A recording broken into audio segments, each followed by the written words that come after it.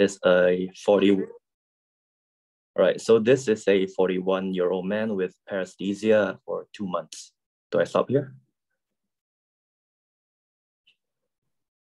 Can I just hear a neuro word? Yay, Lee, thank you. um, yeah. Um, so should I start, Rabih? I just got really excited when I heard paresthesias because it's something that uh, is really interesting. First, you know, the definition of paresthesias. Some it's something that you know I try to avoid with all of the cases, but especially with neuro cases. You know, the term we give uh, a symptom can be very misleading. And for paresthesias, I think that is truer than for any others. Uh, so sensory, so I'll take this as sensory abnormalities as a whole. And that is something, you know, it all depends on where uh, the sensory abnormalities are because localization gives so much information for uh, the neurodiagnosis. So for example, the having paresthesias in both extremities, uh, lower extremities is something that we see very common and it's not rare. A lot of our diabetic patients have it and you know, it's not that rare, but whenever we see, I don't know, paresthesias of a thoracic dermatome, it suddenly becomes really interesting. Um, I actually, you know, I I had a pares I had paresthesias recently. I was taking a medication. I'm not gonna say which one, but uh, one of its adverse effects is paresthesias, and it was so strange to have it. I, you know, self-diagnosing myself was like the weirdest thing because sensory abnormalities are something that you know it's so sort of like pain like abdominal pain. And everybody has abdominal pain sometimes and it just comes and goes and there's no diagnosis. It doesn't mean that you have any underlying disorder it's just something that randomly happens or please at least say it does because then i like i'll get to feel normal. But i started having like paresthesias of um my hands. And at first i was like oh this is normal. This is just me being weird on a day um, randomly. But then it then it got worse. It was very painful, and I was like, huh, this might be something. And so, you know, whenever I hear sensory abnormalities, first I try to define what it is uh, for that person, then the localization. So uh, trying to be, you know, it can it can even be like very broad on like extremities, or uh, it can be very specific. So for example, we know that, you know, the hand and the, the hands and um, feet, you know, are affected by demyelinating disorders that are limb dependent. Um, and then time course is always very important. So I think that would be like my overall schema. Rabih, what do you think? Ending with E equals MC square is amazing. I love that. Um, and I love the personal touch to it. I think it makes it so much more memorable. And you know, I agree with you. Like the paresthesias is a is a phenomenon that is purely experienced, and so um, being able to get as much detail as you possibly can on set experience is really important. And I would say that um, it's it's incredible how quickly you move into like thinking about regular old peripheral neuropathy when you hear that, and you have to be careful because the truth is, whenever you hear paresthesias, you're going to be going into regular old peripheral neuropathy, which is idiopathic, alcohol, diabetes, uh, familial, and obesity related. Those are the top five causes. But you have to slam the brakes and at least consider two two other possibilities. The first is that you have what is an atypical distribution, as you said, Maria. So if it starts in the hands or ascends very quickly or um, doesn't behave like a typical neuropathy, you have to say, wait, my localization may be different. But I'd say more importantly, and there's there it might be a non-neurologic problem. And this is the biggest caveat. So how can paresthesias be a non-neurologic problem? Take a pause and remind yourself what are the classic symptoms of raynaud's phenomena? Pain pallor paresthesias that come and go. Paresthesias may be a sign of ischemia to the peripheral nervous system and are commonly a feature of peripheral arterial disease, which when patients exert themselves, they get pain and then paresthesias. So the biggest caveat here is to make sure that you're not dealing with an ischemic problem to the limbs, like PAD or Raynaud's, and then uh, making sure you're dealing with an with a typical localization. Um, and so I'm right there with you. A lot of detail about this paresthesia is going to be really important. And we're probably going to go into one of three spaces regular old neuropathy, fancy neuro stuff or non-neuro at all and think about Raynaud's, PAD, and stuff like that. Um, given the uh, clinical reasoning enthusiasm of our friend Lee, Lee here, I don't think we're going to go into garden variety neuropathy, but we'll see. Yeah, we'll see. right. So do I continue? All right. So the patients, the patient have been uh, traveling in Indonesia two months ago he ate a fish stew and several hours later developed nausea, vomiting, and diarrhea. The GI symptoms resolved, then several days later, developed a sensation of numbness in his legs traveling towards his upper body. And symptoms have been uh, improving. Symptoms have improved over the last two months, but have not resolved. The numbness, however, has now resolved, but has a odd sensation in his legs and he feels a burning sensation when he touches cold objects.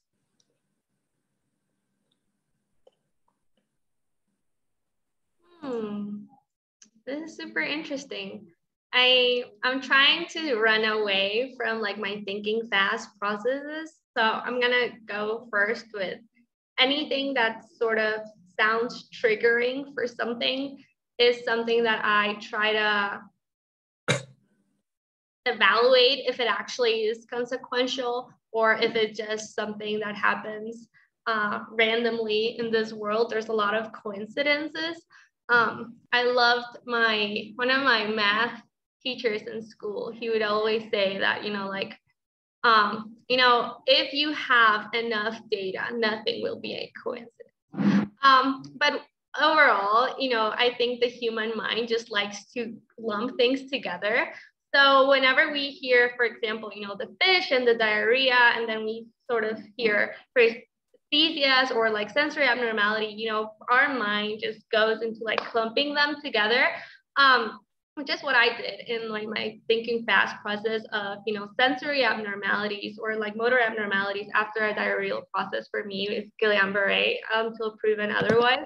And, you know, somebody asked in, in um, in the chat, does Guillain-Barré paresthesias? And then I see Vale answering with what I was going to say, that there are so many variants of GBS and there are so many presentations.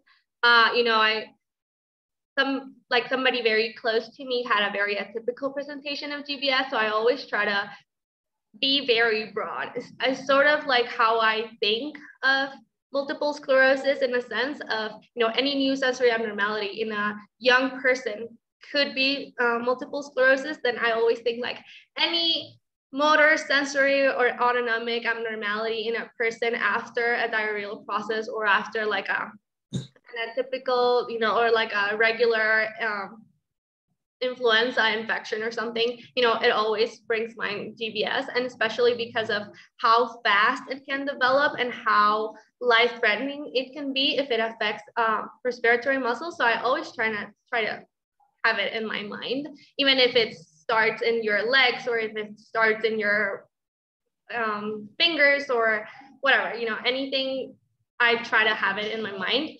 Um, but I think it, it's interesting how it resolves. So he has numbness along his upper body and then this odd sensation along his legs that we would love to characterize a little bit more. And then it resolves and then he continues with a burning sensation.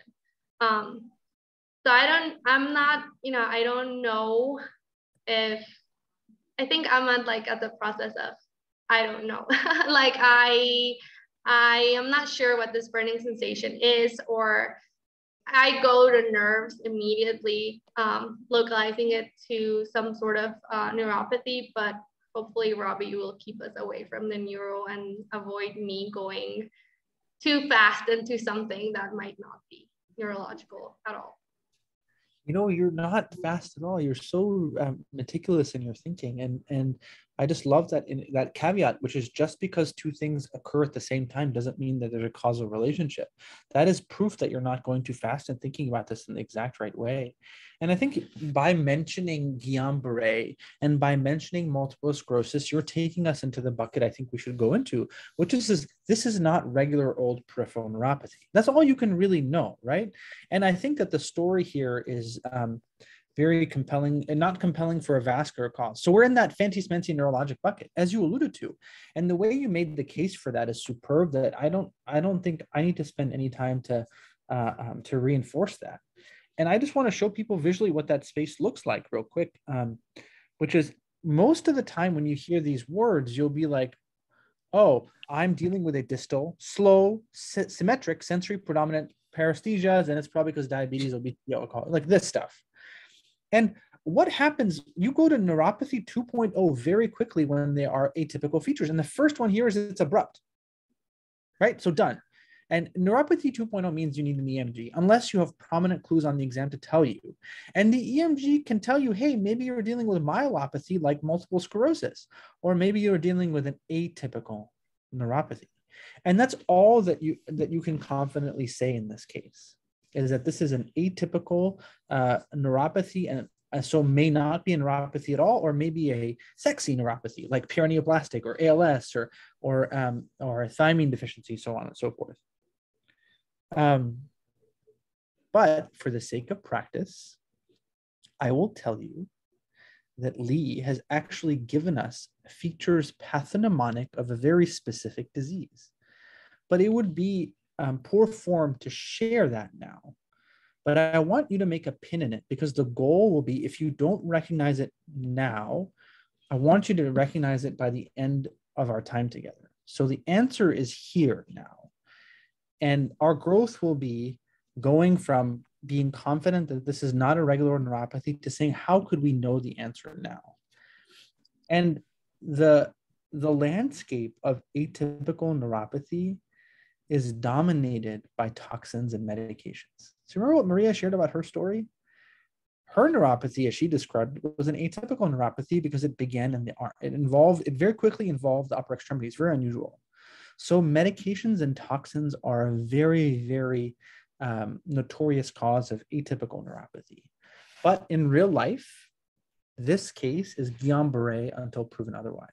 So you really want to do a, a good exam and make sure the reflexes are intact, so on and so forth, to make sure that the scary causes of atypical neuropathy, namely Guillain-Barré, are excluded. Um, but let's go back and revisit this aliquot when we're done to put the pieces together um, for Lee's fantastic case. All right, Lee, do you mind? I know the human DXs are broken in a in a in a certain way. Do you want to just take us all the way up until the exam? Actually, the next aliquot is from the exam. There's nothing much in the history. Perfect. All right, so the temperature is 98.4 Fahrenheit, uh, heart rate's at uh, 72, blood pressure is uh, 121 over 83, respiratory rate is 18, and on general exam, uh, he, the patient looks uh, well and comfortable. Okay, on mental status exam, uh, he's alert and oriented, oriented times three. Uh, he has normal bulk and tone, um, five out of five strength in bilateral uh, upper and lower extremities.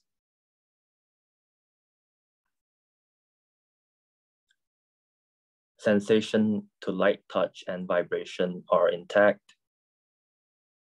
Finger, nose, finger uh, test is intact and Romberg test is negative.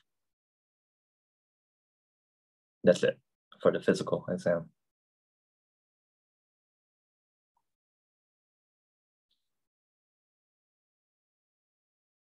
Ooh, my turn. I think this is gonna be the last aliquot before I have to run, but I think it's, um, let me just read it again, I'm sorry.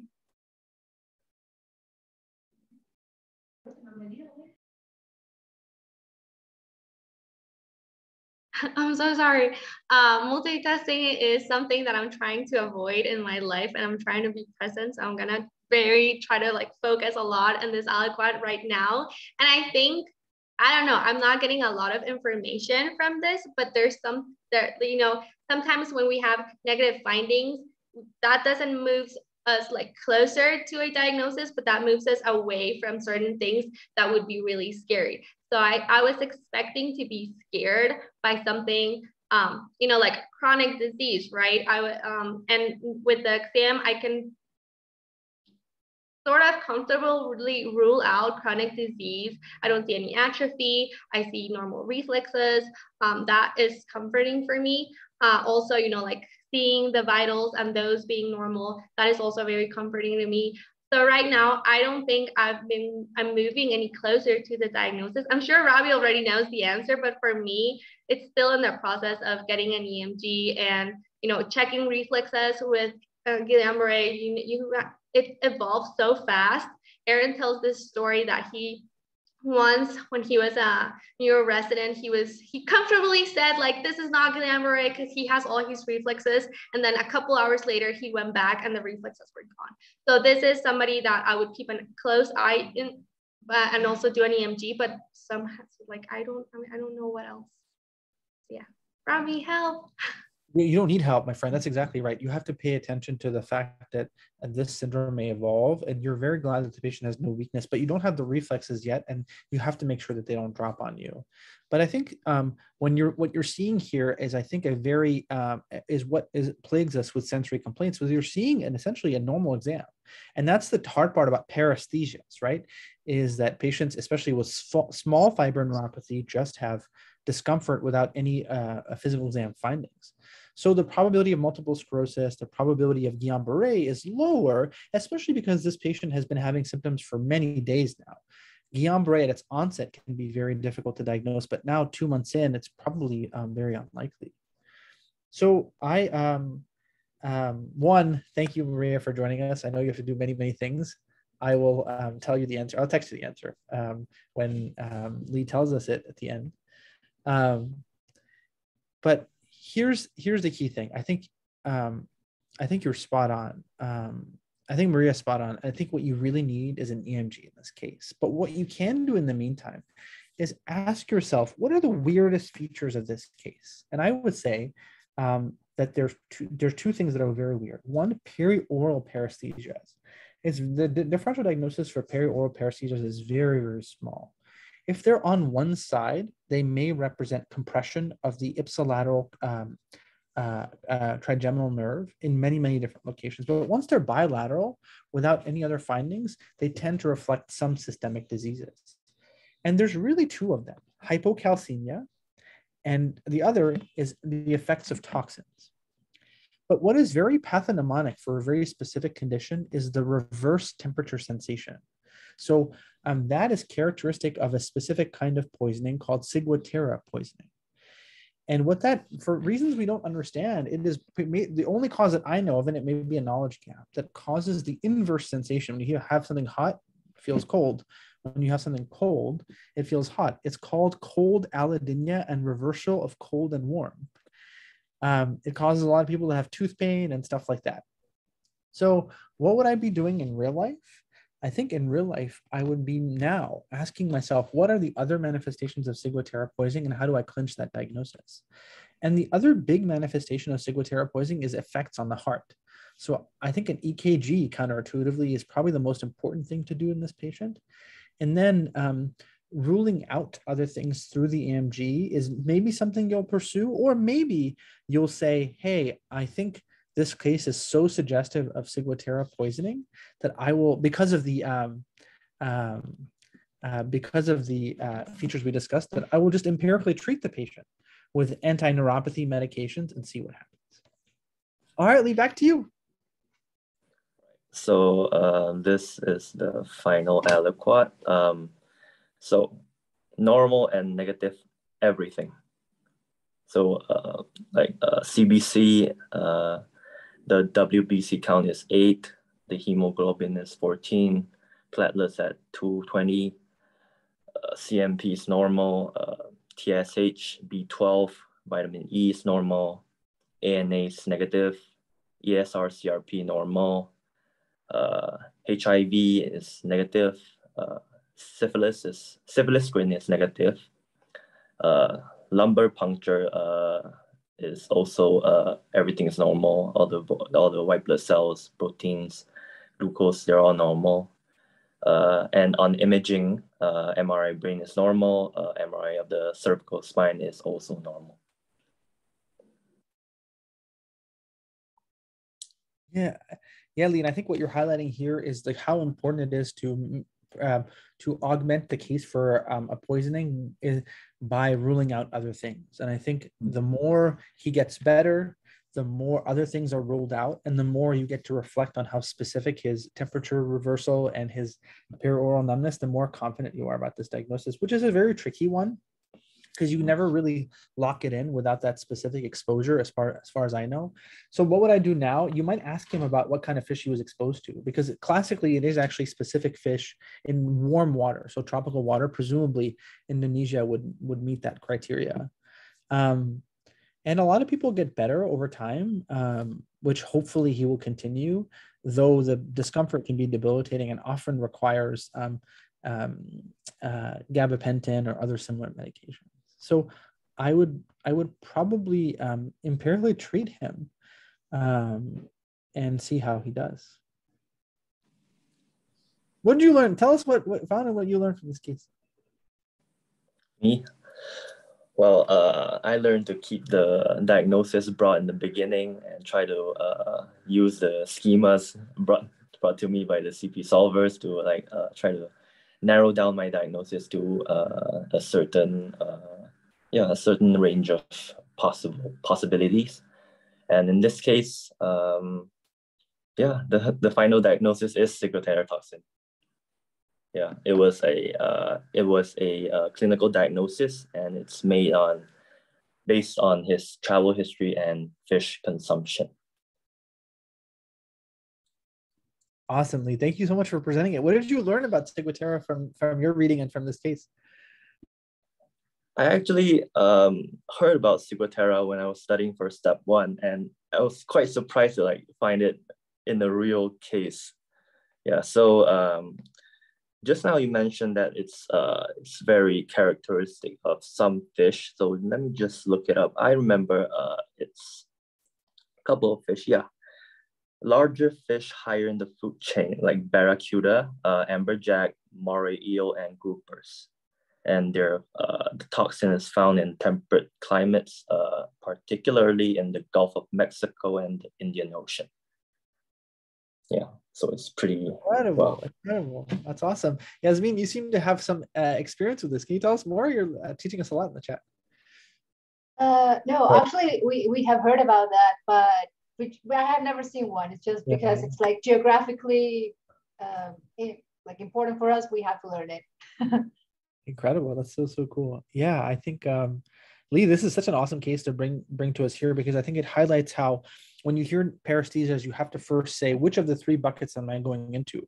Am I going into the typical stuff, which is symmetric, sensory predominant, slowly progressive distal neuropathy? That's like 99% of the time. And then the other 1% of the time is wait, it's not neurologic at all. It's a vascular problem like Raynaud's or PAD. And then sometimes it's a very unusual neurological problem. And the way you know it's unusual is because the distribution is off, the tempo is off. And then an unusual neurological problem, honestly, um, is very, very tricky to figure out. And then EMG will tell you, are you dealing with a central nervous system, peripheral nervous system? And if it is peripheral nervous system, is it axonal? Is it demyelinating? Is it both? So um, yeah, I think um, there's not many diseases that that do this. So perioral tingling or numbness, hypocalcemia, and ciguatera is really the two C's: calcium and ciguatera. Um, it stuck with me because um, there's a New England Journal case. So if you're looking for more um, practice or another case to explore this, just type in New England Journal of Medicine, ciguatera poisoning. That's the first time I ever heard of this. And when you hear of something like this once, you'll never forget it. Perioral numbness and reversal of temperature, it's so characteristic. So um, I hope you recognize this forever and ever and ever. And hopefully it's anchored in the two C's around the mouth, um, calcium and ciguatera. Yeah, yeah, James. I'm not sure if it's um if it's in the CPS cases or if it's a regular old CPC, but if you type in New England Journal um, and ciguatera, you should be able to find it. If not, then um, I'll have to find the link and send, share it with you guys over email. All right, Deborah, you want to take us home with your recap? Hey everyone, thank you for the case. Um, it was really good. So going for the teaching point, we thought about paresthesia. We have to think about the sensory abnormalities, the extremities, if can be in the upper of the lower, in the thoracic, that we can think about the dermatomes in the hands and feet. And then we think about the time, if it's acute, chronic, subacute, and the most common cause that could be idiopathic, alcohol, and diabetes. And we thought about the Raynaud that could cause pain, pallor, and paresthesia. That can be a ischemic problem. And then we thought about the neuro causes that could be Guillain-Barré or multiple sclerosis. And then we thought about the typical cause that could be for toxins and medication. And then we have the paralysis of the trigeminal that could be from calcium toxins and yeah, and then we thought about, uh, Ravi just said that we have to think first typical, that is 99%, or could be vascular, or can be unusual um, neurological problem. So thank you, everyone. Thank you, thank you. That was a, such a concise and awesome summary. And thank you, Lee, for presenting a really, really interesting case. It's so nice to meet you. Thank you for uh, being a long-time VMR friend, and we're excited to get to know you better next time. All right, all happy Thursday, and um, see you next time. Bye.